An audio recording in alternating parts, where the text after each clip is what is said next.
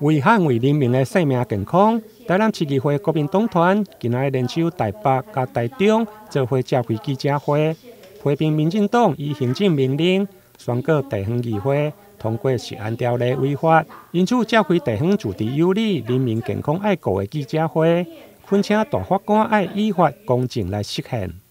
地方自治有理，人民健康要顾。大法官不断借着解释，要求执政执政的政府，好，不管是民进党也好，还是过去的国民党也好，重视人民的健康，这是最最重要的。所以我们希望说，现在的民进党政府，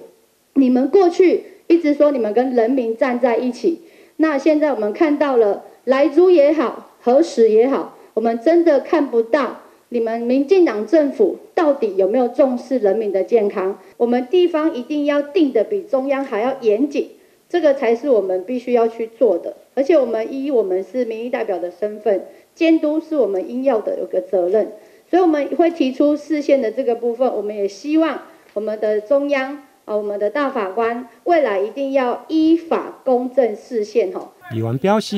依据地方制度法。台南、台北、台中、甲嘉义的食安条例，拢是为了保障人民的健康权。因此，国民党团希望二十二号大法官召开宪法的法定审理的时，应该捍卫宪法，保障基本人权的健康权，和尊重生命现代法治精神，会用真正来落实。台南新闻综合报道。